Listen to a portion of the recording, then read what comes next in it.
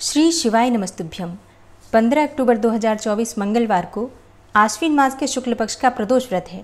मतलब आज है प्रदोष व्रत। तो आप सभी को मेरी तरफ़ से प्रदोष व्रत की मंगल शुभकामनाएँ। भगवान भोलेनाथ और माता पार्वती की कृपा सदैव आप और आपके समस्त परिवार पर बनी रहे। दोस्तों, आज की वीडियो में आप सुनेंगे भौम प्रदोष व्रत की कथा। भौम प्रदोष के दिन किस प्रकार से भगवान शिव, माता पार्वती और हनुमान जी की पूजा आराधना करनी चाहिए, कौन से उपाय करने चाहिए, इसके साथ ही प्रदोषकालीन पूजा का शुभ मुहूर्त क्या है? मतलब आज के प्रदोष व्रत की संपूर्ण जानकारी आपको शेयर करने वाली हूँ इस वीडियो में। इसलिए वीडियो को अंत तक ज़रूर देखिए। और हाँ अगर वीडियो पसंद आ जाए तो इसे लाइक भी ज़रूर कीजिए। क्योंकि आपके लाइक्स आपके कमेंट्स मेरे लिए बहुत महत्वपूर्ण हैं। ये एकमात्र ज़रिया हैं जिनसे मुझे पता चलता है कि आपको ये वीडियो अच्छी लगती हैं। और आपके लिए ये वीडियो उपयोगी हैं। तो अगर वीडियो अच्छी लगे तो लाइक तो ज़रूर ही किया कीजिए। और बात करेंगे प्रदोषकालीन पूजा के शुभ मुहूर्त के बारे में, लेकिन उससे पहले सुनते हैं भौम प्रदोष व्रत की कथा। एक नगर में एक वृद्धा रहती थी। उसका एक ही पुत्र था। वृद्धा की हनुमान जी पर गहरी आस्था थी। वह प्रत्येक मंगलवार को नियम पूर्वक व्रत रखकर हनुमान जी की आराधना करती थी। एक बार हनुमान जी ने उसकी श्रद्धा की परीक्षा लेने की सोची। हनुमान जी साधु का वेश धारण करके वृद्धा के घर गए और पुकारने लगे, है कोई हनुमान भक्त जो हमारी इच्छा पूर्ण करे? पुकार सुनकर वृद्धा बाहर आई और बोली, आज्ञा महाराज हनुमान जी जिन्होंने साधु वेश धारण कर रखा था, बोले, मैं भूखा हूँ, भोजन करूँगा, थोड़ी ज़मीन लीप दे। वृद्धा दुविधा में पड़ गई। अंततः हाथ जोड़कर बोली, महाराज, लीपने और मिट्टी खोदने के अतिरिक्त आप कोई दूसरी आज्ञा दें, मैं अवश्य पूर्ण करूँगी। साधु ने तीन बार प्रतिज्ञा कराने के बाद कहा, तू अपने बेटे को बुला, मैं उसकी पीठ पर आग जलाकर भोजन बनाऊँगा।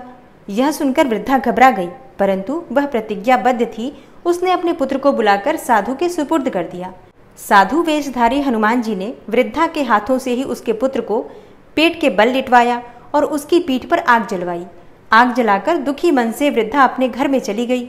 इधर भोजन बनाकर साधु ने वृद्धा को बुलाकर कहा, तुम अपने पुत्र को पुकारो ताकि वह भी आकर भोग लगा ले। इस पर वृद्धा बोली, उसका नाम लेकर मुझे और कष्ट न पहुंचाओ। लेकिन जब साधु महाराज नहीं माने तो वृद्धा ने अपने पुत्र को आवाज़ लगाई। अपने पुत्र को जीवित देखकर वृद्धा को बहुत आश्चर्य हुआ और वह साधु के चरणों में गिर पड़ी। तब हनुमान जी अपने वास्तविक रूप में प्रकट हुए और वृद्धा को भक्ति का आशीर्वाद दिया। प्रेम से बोलिए, बजरंग बली हनुमान की जय। भगवान शिव और माता पार्वती की जय। आश्विन मास की शुक्ल पक्ष की त्रयोदशी तिथि का प्रारंभ हो रहा है 15 अक्टूबर को सुबह तीन बजकर बयालीस मिनट पर। मतलब ब्रह्म मुहूर्त में तिथि प्रारंभ हो रही है त्रयोदशी की। और समाप्त हो रही है 16 अक्टूबर को सुबह बारह बजकर उन्नीस मिनट पर। ऐसे में सूर्योदय कालीन तिथि के अनुसार 15 अक्टूबर को मंगलवार के दिन प्रदोष का व्रत रखा जाएगा। और जब प्रदोष का व्रत मंगलवार को आता है तो इसे कहा जाता है भौम प्रदोष। भौम प्रदोष का महत्व तो बहुत अधिक माना गया है। विशेषकर अगर आपको अपना घर चाहिए मतलब अपने घर की कामना है, ज़मीन की कामना है, या फिर कर्ज से मुक्ति पाना चाहते हैं, शत्रुओं पर विजय पाना चाहते हैं और बीमारियों से मतलब रोगों से मुक्ति पाना चाहते हैं। विशेषकर कोई लंबी बीमारी से परेशान हैं आप तो ऐसे में आपके लिए भौम प्रदोष अत्यंत महत्वपूर्ण है। आर्थिक संपन्नता के लिए, संतान की प्राप्ति के लिए भी प्रदोष का व्रत बहुत महत्वपूर्ण है। तो भौम प्रदोष के दिन प्रातःकाल जल्दी उठ जाइए उठ कर नित्य कर्मों से निवृत्त हो जाइए, घर की साफ़ सफ़ाई कर लीजिए। इसके बाद आपको स्नान करना है, गंगा जल मिश्रित जल से आपको स्नान करना है। फिर शुद्ध वस्त्र धारण करके भगवान सूर्यदेव को जल दीजिए। और अपने घर के मंदिर में शुद्ध घी का दीपक जलाकर विधि विधान से भगवान शिव की, माता पार्वती की और जो भी देवी देवता आपके घर में विराजित हैं, सबकी पूजा कर लीजिए। और व्रत का पूजा का संकल्प अवश्य ले लीजिए, क्योंकि अगर आप व्रत और पूजा का संकल्प नहीं लेते हैं तो आपकी पूजा का संपूर्ण फल नहीं मिलता। व्रत का संपूर्ण फल नहीं मिलता। इसलिए संकल्प लेना अत्यंत आवश्यक है। जैसे कि प्रदोष के व्रत में भगवान शिव की, माता पार्वती की और भगवान गणपति की आराधना की जाती है। इसके साथ ही जब भौम प्रदोष है तो मंगलवार है, हनुमान जी की पूजा भी उतनी ही आवश्यक है, तभी इस व्रत का संपूर्ण फल आपको मिलेगा। तो जिस प्रकार से आप शिव पार्वती की आराधना कर रहे हैं, उसी प्रकार से हनुमान जी की पूजा कीजिए, हनुमान चालीसा का पाठ कीजिए, सुबह की पूजा पूर्ण करके आरती कर लीजिए, और फिर शाम को आपको विशेष रूप से पूजा आराधना करना है तो दिन में आप फलाहार कर सकते हैं, कोई सा भी फल खा सकते हैं, जूस पी सकते हैं, चाय, दूध इत्यादि लेकर आप व्रत धारण कर सकते हैं, और फिर शाम के समय प्रदोष काल से पहले आप स्नान कर लीजिए, स्वच्छ वस्त्र धारण कर लीजिए और भगवान शिव के मंदिर जाकर उनका विधि विधान से पूजन कीजिए। मंदिर नहीं जा पाते हैं तो घर में भी पूजा कर सकते हैं। अगर आपके घर में शिवलिंग है या फिर आप चाहें तो मिट्टी का छोटा सा शिवलिंग बना सकते हैं। भगवान भोलेनाथ का अभिषेक आपको पंचामृत से करना है। दूध, दही, घी, शहद, शक्कर, इन पाँचों चीज़ों को मिलाकर पंचामृत बना लीजिए। और भगवान शिव का अभिषेक कीजिए, गंगा जल से अभिषेक कीजिए। फिर इसके बाद बिल्वपत्र, भाँग धतूरा अक्षत पुष्प इत्यादि, जो भी चीज़ें आपके पास उपलब्ध हैं, भगवान शिव को एक एक करके सभी सामग्री अर्पित करें। भगवान भोलेनाथ को सफ़ेद पुष्प और माता पार्वती को लाल पुष्प अर्पित कीजिए। माता पार्वती को आप चाहे तो सुहाग की सामग्री अर्पित कर सकते हैं। और हाँ माता पार्वती को सिंदूर अवश्य अर्पित कीजिए।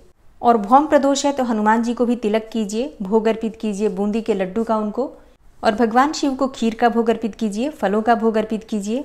भगवान भोलेनाथ की पूजा करते समय मंत्रों का जप अवश्य कीजिए। आप चाहे तो पंचाक्षर मंत्र का जप कर सकते हैं, या फिर आप चाहें तो शिव चालीसा का पाठ कर सकते हैं। शिव शास्त्र नाम का पाठ कर सकते हैं, महामृत्युंजय मंत्र का जप कर सकते हैं। अगर आप कर्ज से परेशान हैं, आर्थिक तंगी से परेशान हैं तो ऐसे में आपको ऋण मोचक मंगल सूत्र का पाठ भगवान शिव की पूजा करने के बाद ज़रूर करना है। इससे आपको रोग, ऋण और शत्रुओं से भी मुक्ति मिलती है और आर्थिक तंगी भी दूर हो जाती है। तो शाम के समय प्रदोष काल में विधि विधान से पूजा कीजिए, मंत्रों का जप कीजिए, व्रत की कथा सुनिए और इसके बाद आप चाहें तो अपना व्रत खोल सकते हैं। और अब जानते हैं कि प्रदोष काल पूजा का शुभ मुहूर्त क्या है। देखिए प्रदोष काल पूजा का शुभ मुहूर्त आपको प्राप्त हो रहा है पंद्रह अक्टूबर को, शाम को पाँच बजकर तीस मिनट से रात्रि आठ बजे तक। इस समय में विशेष रूप से आपको भगवान शिव और माता पार्वती की आराधना करके मंत्रों का जप करना है। अब बात करें भौम प्रदोष के विशेष उपाय के बारे में। देखिए, मंगलवार को जब प्रदोष का व्रत आता है तो अगर आप उस दिन गन्ने के रस से भगवान शिव का अभिषेक करें तो इससे आपकी बहुत सारी समस्याओं से आपको मुक्ति मिल सकती है। जैसे कि कर्ज से परेशान है तो कर्ज से भी मुक्ति मिलती है। अगर आपको अपना घर चाहिए, अपनी ज़मीन चाहिए प्रॉपर्टी के लिए आप प्रदोष का व्रत कर रहे हैं तो ऐसे में आपको गन्ने के रस से भगवान शिव का अभिषेक करना है। मान लीजिए आपको गन्ने का रस नहीं मिलता है, तब आप क्या करेंगे? तब आप जल में गुड़ डालकर और अच्छे से मिला लीजिए, फिर छान लीजिए उस जल को और फिर ये जो गुड़ का रस है, इसी से भगवान शिव का अभिषेक कीजिए, उनसे प्रार्थना कीजिए। ऋण मोचन मंगल स्त्रोत्र का पाठ कीजिए। तो निश्चित ही आपकी जो भी परेशानी है, उससे मुक्ति मिल जाती है। और जो भी आपकी कामना है आर्थिक समृद्धि की तो आपकी कामना भी पूर्ण होती है। वैसे तो प्रदोष व्रत के दिन भगवान को सफ़ेद मिठाई का भोग लगता है। इसके अलावा खीर का भोग हम लगाते हैं। लेकिन भौम प्रदोष के दिन आपको इन सभी चीज़ों के अलावा मतलब खीर या फिर सफ़ेद मिठाई के अलावा, फलों के अलावा भी, गुड़ या फिर गुड़ से बनी हुई मिठाइयाँ या फिर गुड़ से बना हुआ हलवा भगवान को भोग में अर्पित करना चाहिए। इससे भी आपकी आर्थिक तंगी दूर होती है और आपकी कामना चाहे कोई भी हो, पूर्ण हो जाती है।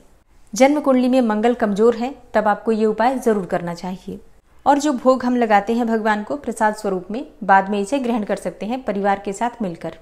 दोस्तों, अगर आप शरद पूर्णिमा के बारे में जानना चाहते हैं, या फिर दीपावली, करवा चौथ से संबंधित जानकारी आपको चाहिए तो चैनल पर वीडियो अपलोड हो चुकी है, ज़रूर देख लीजिए। और आने वाली वीडियो में आप जानेंगे, कार्तिक मास के नियम क्या होते हैं। कार्तिक मास में किस प्रकार से आपको स्नान करना है? स्नान दान के नियम क्या होंगे? तुलसी पूजन की विधि क्या होगी? पीपल की पूजा कैसे करें? सारी जानकारी आपको आने वाली वीडियो में मिलने वाली है। तो चैनल से जुड़े रहिए ताकि सभी जानकारी आपको सही समय पर प्राप्त हो।